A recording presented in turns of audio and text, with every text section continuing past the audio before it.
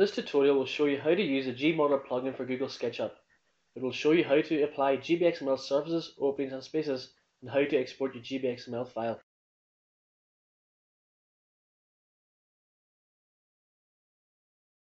The first task in the gModeller process is to apply GBXML surfaces and openings to your building model. What this basically involves is telling your building model which surfaces are external walls and which are internal wall, floor, roof, window and door surfaces. GBXML surfaces and openings are applied using the SketchUp Paint Bucket tool. Once you have downloaded and installed the gModeller plugin for Google SketchUp, two additional folders will be added to the materials palette called gModeller Surfaces and gModeller Openings. We recommend that you familiarize yourself with the different materials in each of these folders before you begin to use gModeller. So to start applying surfaces, simply select the relative material from the gModeller Surfaces folder, for example external walls, and then simply click on all the surfaces you wish to make external walls and repeat this process for all the internal wall, roof and floor surfaces. Use SketchUp section plane tool to add interior GBXML surfaces to your building model as shown. You should apply your GBXML surfaces prior to applying your GBXML openings, as an opening requires a painted surface before it can be added as an opening.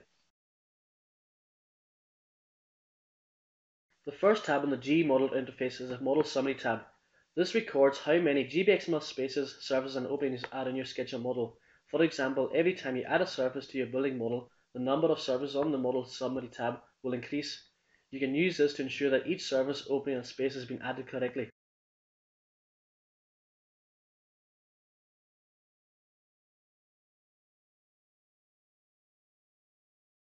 Once you have added all of your GBXML surfaces and openings to your building model, you are then ready to add the spaces.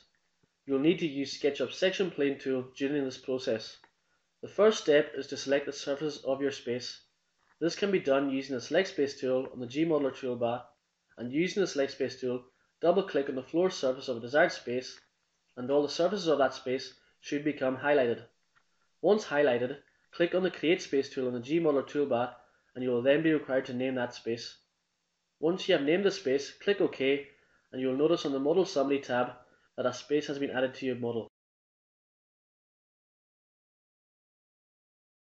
When selecting a space with the Select Space tool, a warning may appear telling you that the space is not enclosed.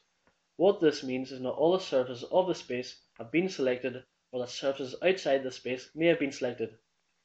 Use the Move Plane tool on the gModeller toolbar to scan the space to locate the missing surfaces of the space. Once located, hold Shift on your keyboard and using SketchUp Select tool, select the surfaces that have not been selected or click on the surfaces that are not part of the space to deselect them. Once you are happy that all the surfaces of your space have been identified, then you can continue to use the Create Space tool to add the space to your model. Continue this process for the rest of the spaces in your building model.